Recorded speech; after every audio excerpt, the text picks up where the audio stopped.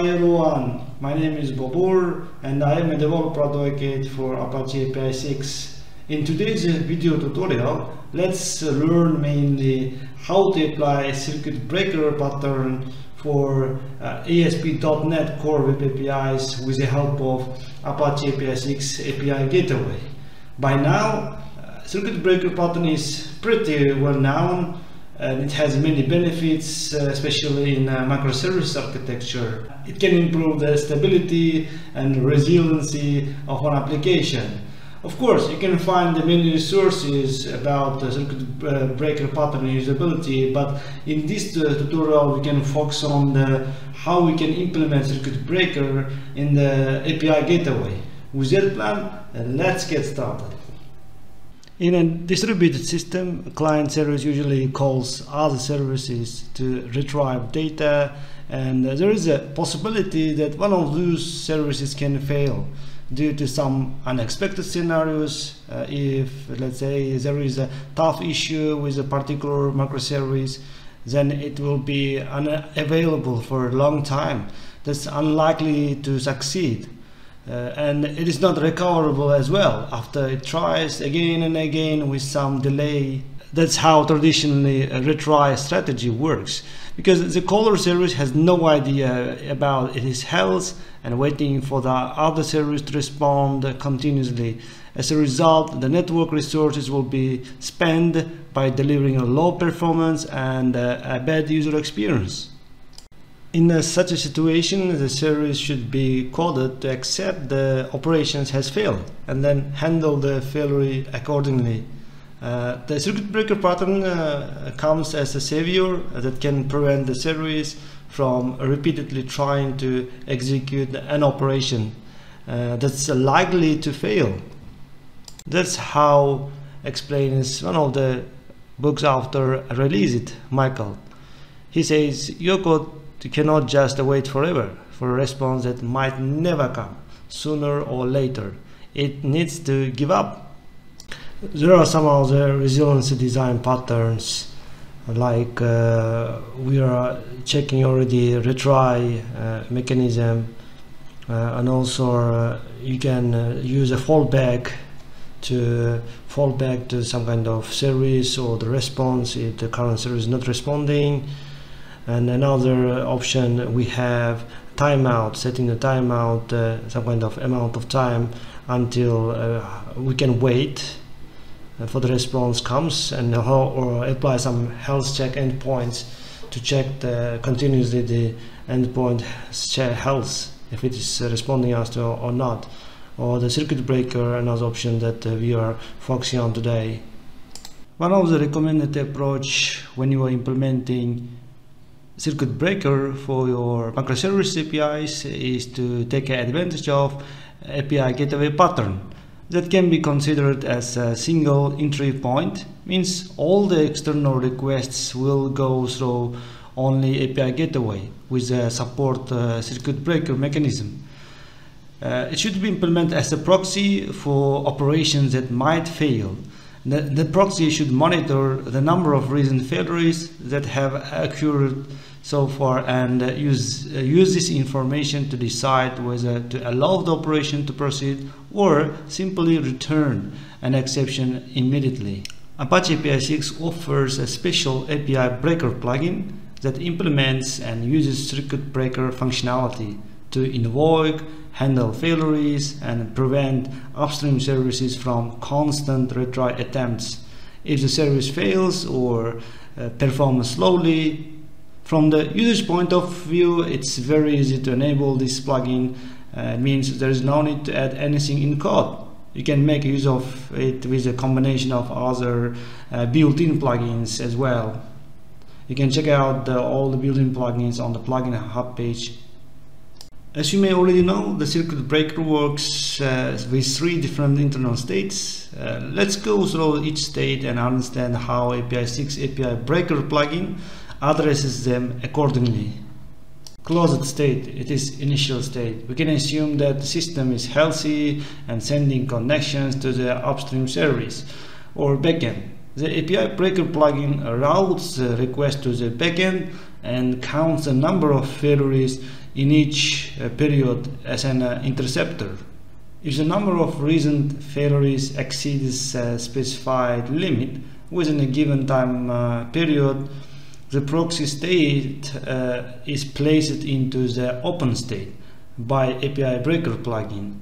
Uh, when the API Breaker plugin moves to the open state, requests from the upstream service will fail immediately and an exception will be returned back uh, from the API gateway and finally half open state. In this state, API Breaker plugin only allows a fixed number of requests pass through the upstream service.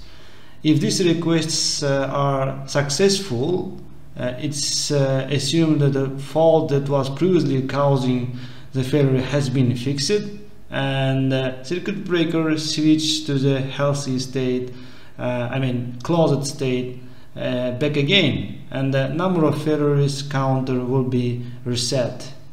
With all the theoretical knowledge in mind, uh, let's jump into the demo of using API Breaker plugin provided by Apache APISIX and uh, see the result in action for our existing sample project ASP.NET Core Web API. Uh, it has a single endpoint which retrieves all the product list. And if you followed the previous blog post, uh, or the video tutorial about how to manage .NET microservice APIs with Apache APISIX API Gateway. And make sure that you watch the video or read the blog post to uh, complete the steps I'm gonna show you today uh, like how to run APISIX uh, or etcd that use APISIX as a configuration uh, and how to build this uh, with Docker container. In my case, I am using a Windows operating system and on my machine Docker uh, desktop installed and I have I'm running this example project from GitHub called APISIX.NET Docker and I have this uh, Docker uh, containers up and running uh, including this product API with get all products endpoint the first step, we need to create a new upstream for our backend product service. To do that, we can jump into the terminal and uh, run the following command to create a sample upstream. Uh, that's our API server. Yeah, here we go. As you can see, we are uh, we have single uh, node, which is a product API, and we are using a round robin uh, algorithm just uh, forward requests and by default also it's chosen by APISIX. Next we need to configure the API breaker plugin. Let's start with adding API breaker plugin to Apache APISIX declarative configuration file config.yaml uh, under uh, APISIX conf folder in the project. Uh, or you can simply check out the existing API circuit breaker branch in the repo. It's already configured and you can find example commands we show in this demo on the commands folder and run the solution from that branch. Because in the current branch we haven't registered yet the plugin uh, we are going to use for this demo uh, now we appended the API breaker plugins name to the end of plugins list once we configured API breaker plugin, next we need to enable it on the specific route. The following configuration uh, is an example of how to add a circuit breaker capabilities to the upstream uh, we created in the previous step with a curl command. And the plugin configuration above, uh, the circuit breaker policy is configured so it breaks or opens the circuit when there have been uh, three consecutive faults 500 or 503 HTTP statuses when it is trying to uh, send HTTP requests right?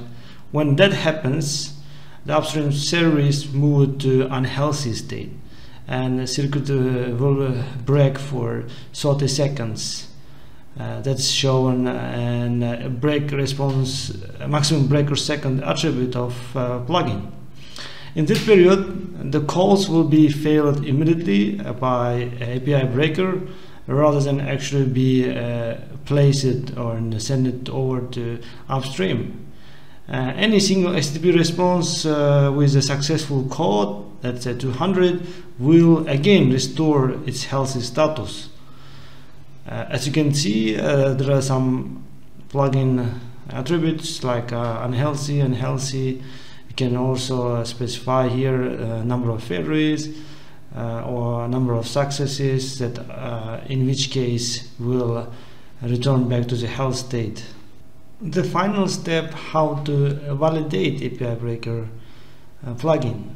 It's very straightforward to check this scenario. I think one of the stupid options can be just stopping uh, product API container uh, from Docker, which causes 503 HTTP uh, uh, service temporary unavailable error, and we can see API breaker takes the control. Or another option update the code in the product controller uh, file so that endpoints uh, return sometimes 500 internal server error.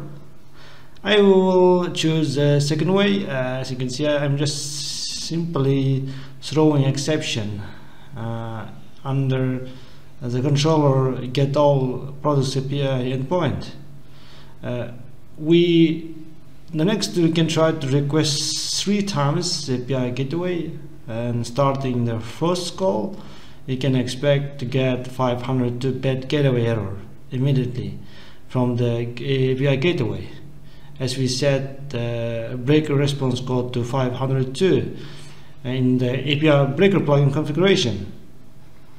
Just to recap what we learned today uh, in which situations we can use the circuit breaker pattern for our microservice API to improve stability and resiliency of applications. And uh, we also cover the circuit breakers implementation and API gateway how the API gateway can act as a proxy for the operations that might fail and uh, support the circuit breaker functionality.